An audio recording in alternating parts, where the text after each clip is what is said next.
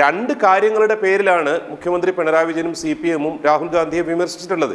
ഒന്നാമത്തെ കാര്യം ഒരുപക്ഷെ രാഹുൽ ഗാന്ധി തന്നെ മുന്നോട്ട് വെക്കുന്ന പൊളിറ്റിക്സിന്റെ അകത്തുള്ള കോൺട്രഡിക്ഷനാണ് വയനാട്ടിലൊക്കെ വന്നിട്ട് രാഹുൽ ഗാന്ധി പറഞ്ഞത് രണ്ടായിരത്തി ഇരുപത്തിനാല് ലോക്സഭാ തെരഞ്ഞെടുപ്പ് എന്ന് പറഞ്ഞാൽ ഫോർ കോൺസ്റ്റിറ്റ്യൂഷൻ എഗെയിൻസ്റ്റ് കോൺസ്റ്റിറ്റ്യൂഷൻ ഭരണഘടനയ്ക്ക് വേണ്ടിയുള്ള ഒരു ഒരു ഭാഗം ഭരണഘടന വേണ്ട എന്ന് പറയുന്ന ഒരു ഭാഗം. ഇവർ രണ്ടുപേരും തമ്മിലുള്ള ഫൈറ്റാണ്. ഏറ്റവും ലളിതമായിട്ട് ഏറ്റവും ലളിതമായിട്ട് പറയാൻ പറ്റുന്ന കാര്യമാണ്. ഭരണഘടന ആ മൂല്യങ്ങൾ സംരക്ഷിക്കേണ്ടുന്ന ഒരു വിഭാഗം അത് ചോദ്യം ചെയ്യുന്ന മറ്റൊരു വിഭാഗം. N D A B J P ആണ് സ്വാഭാവികമായിട്ടും ഭരണഘടനയുടെ അന്തസത്തയെ ചോദ്യം ചെയ്യുന്നത്. ഭരണഘടന എന്നുള്ളത് ഇന്ത്യയിലുള്ള സിറ്റിസൺസിന് പൗരന്മാരുടെ അവകാശങ്ങൾ സംരക്ഷിക്കുന്ന സംഗതിയാണ്.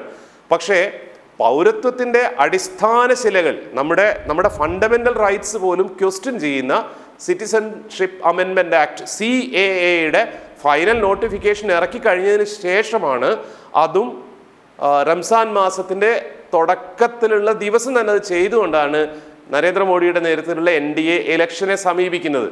വളരെ വിചിത്രം വിശ്വസിക്കാൻ പറ്റാത്ത രീതിയിൽ കോൺഗ്രസിന്റെ ഇലക്ഷൻ മാനിഫെസ്റ്റോയിൽ ഒരിടത്തും സി എന്നുള്ള കാര്യം പരാമർശിക്കുന്നു പോലുമില്ല.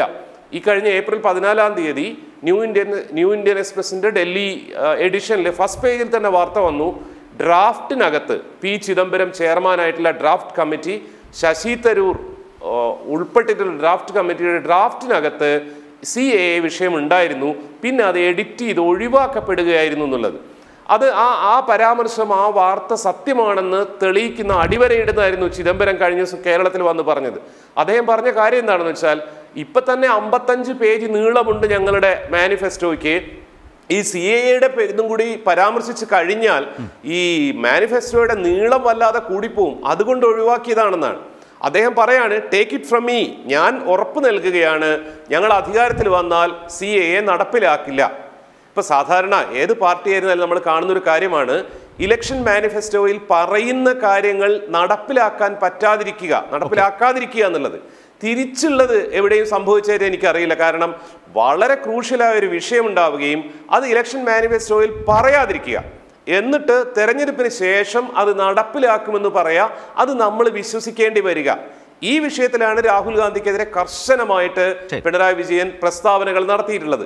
രണ്ടാമത്തെ കാര്യം ഇതിനേക്കാൾ പ്രധാനമായിരുന്നു എന്തുകൊണ്ടാണ് സി എ എ അടക്കമുള്ള വിഷയങ്ങൾ എന്തുകൊണ്ടാണ് ബി ജെ പി സർക്കാരിന്റെ മോഡി സർക്കാരിന്റെ വർഗീയ നിലപാടുകളെ നമ്മൾ എതിർക്കുന്നത് എല്ലാ മനുഷ്യർക്കും ജാതി മത രാഷ്ട്രീയ വിഭിന്നതകൾക്ക് എന്താ പറയാ അതീതമായിട്ട് ജീവിക്കാനുള്ള അവകാശമുള്ളൊരു ഡെമോക്രാറ്റിക് സൊസൈറ്റിയാണ് നമ്മളുടേത്.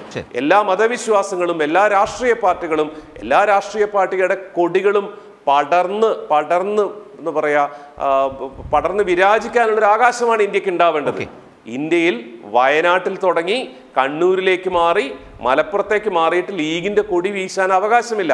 ഈ രണ്ട് വിഷയങ്ങളിൽ എടുത്ത അഴകുഴമ്പൻ നിലപാടുകളുടെ പേരിലാണ് കർശനമായിട്ട് വിമർശിക്കേണ്ടി വന്നിട്ടുള്ളത്.